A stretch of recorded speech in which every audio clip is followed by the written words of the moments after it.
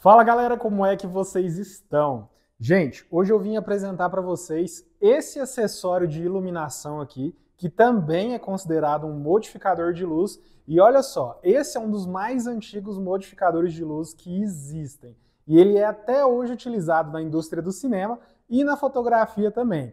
Esse é o Snoot. Vamos falar um pouquinho mais sobre ele. Ó, mas antes de eu mostrar na prática como funciona esse carinha aqui e dizer para vocês todas as funções que ele faz, já se inscreve aqui no canal e não deixe de assistir esse vídeo até o final para garantir que você entendeu muito bem como se usa esse carinha aqui, tá? E olha só, galera, esse aqui é um snoot de mount Bowens. Por que, que eu optei por um snoot de mount Bowens, galera? Porque o Bowens hoje é a montagem praticamente universal, todas as luzes já vêm com montagem Bowens ou vêm adaptadores para isso, então é a montagem mais fácil de você encaixar em qualquer tipo de iluminação que você tenha. Olha só um exemplo aqui. Eu tenho uma tocha de estúdio aqui, uma MS300V, e ela tem montagem Bowens. Então, facilmente eu posso utilizar ele aqui, ó, na minha tocha de estúdio. Quer ver um outro exemplo? Aqui eu tenho um Godox S2, que é um adaptador, né, para a gente colocar mount Bowens, iluminações Bowens aqui, e você pode adaptar tanto speedlights como speedlights da Godox, né, o V1 redondinho, o AD200, enfim, AD100, vários outros aqui. E aí, com isso, ele também já acopla diretamente aqui, ó, sem dificuldade nenhuma, e você pode utilizar ele nos seus eventos, por exemplo, ou em até mesmo no estúdio com o Speedlight. E por fim, a gente também encontra esse tipo de montagem aqui em LEDs já. Se você tem algum LED, seja da Xeon, da Amaran, da Aperture, tanto faz a marca, se ele tiver adaptação Bowens, ele vai encaixar o snoot aqui também. E como eu quero mostrar o uso prático desse snoot aqui para vocês, eu não quero só explicar né, como que funciona, eu sempre quero trazer uma foto, um exemplo prático, eu vou utilizar ele no LED para a gente conseguir ver ao vivo como que ele funciona, como que ele projeta a iluminação aqui. E aí eu faço algumas fotos para a gente exemplificar também, tá? Olha só, esse snoot que eu comprei aqui, eu vou deixar o link dele aqui embaixo na descrição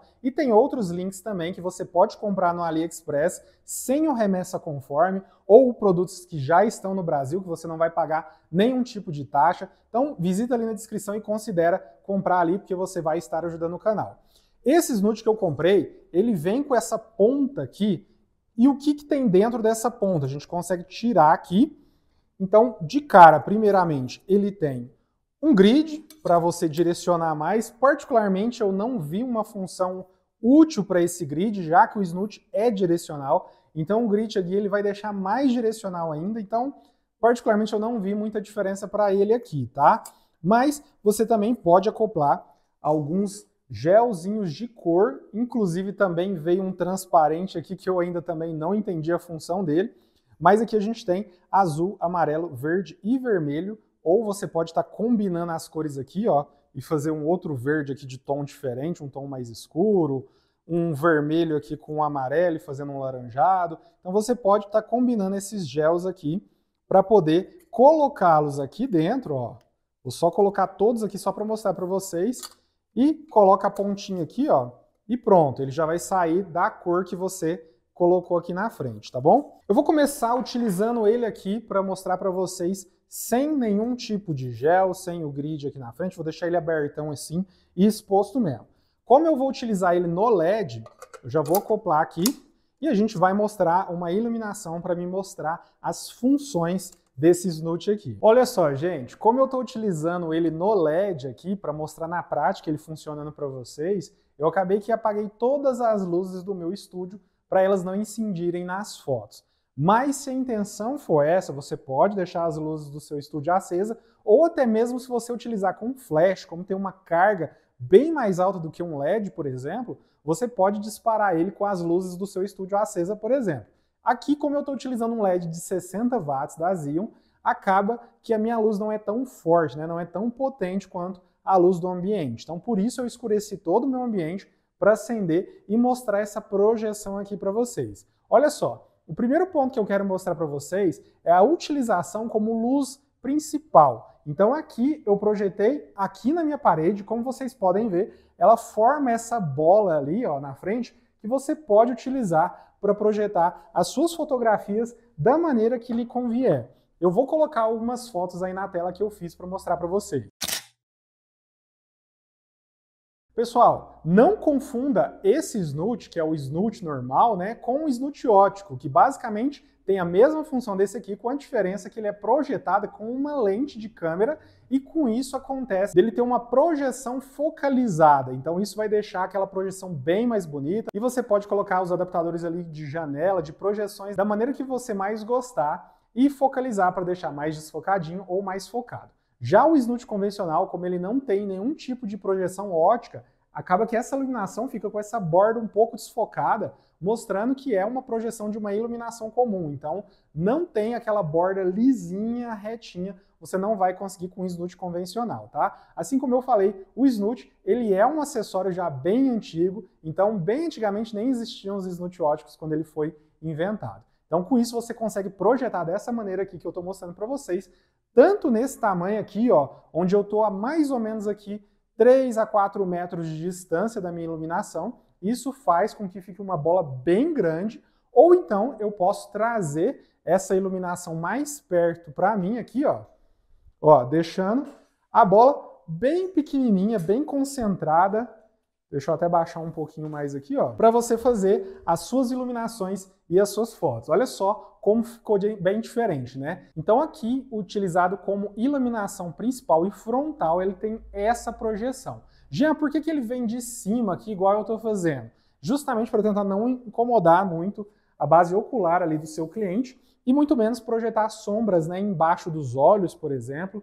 Então, essa iluminação que vem um pouco de cima aqui vai facilitar o seu uso, não vai agredir tanto o cliente. Você pode, inclusive, estilizar esse tipo de ensaio, colocar o cliente com óculos escuro, fazer algum tipo de variação conforme a sua criatividade. Olha só como aqui nesse setup já ficou bem diferente. A questão da projeção da luz já ficou mais oval, né? Não ficou tão circular. E olha só, ela tá como se fosse a 45 graus aqui, ó, da minha da minha esquerda, né, vamos falar assim. Então ela está como se estivesse a 45 graus projetando a minha sombra para lá. Mas você pode variar na questão de angulação. Então se você quiser deixar mais próximo ainda aqui, ó, e fazendo um feixe bem fechado, vai marcar bem mais as suas sombras. Então ela vai projetar uma iluminação bem aqui, vai projetar muita sombra para lá, vai escurecer bastante esse lado, o seu lado oposto, né, aqui do seu rosto. E eu vou mostrar uma foto que eu fiz aí com essa variação aqui. Vocês viram aí na tela, eu variei nessas duas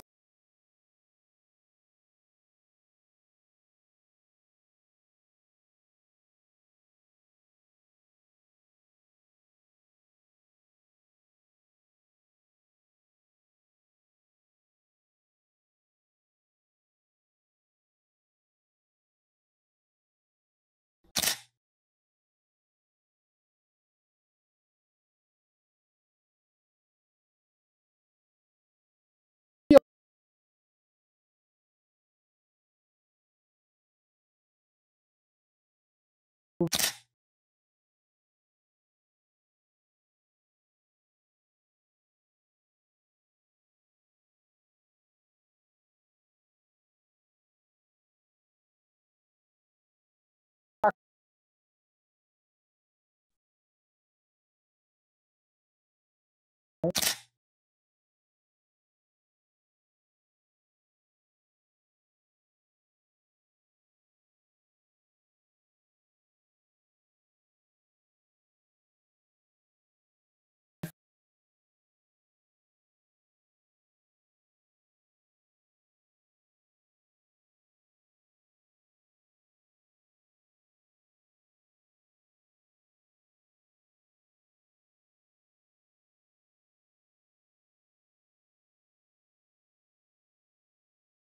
Gente, esse é o terceiro setup que eu fiz para projetar ela, essa luz, como uma luz principal. Então a gente, então eu vou mostrar as fotos aí que eu fiz aqui nessa iluminação, com o snoot vindo de frente, a iluminação vindo mais de frente, bem de cima aqui, iluminando o chão aqui mesmo, e a segunda no mesmo ponto, só que na lateral aqui, exatamente a 90 graus de mim.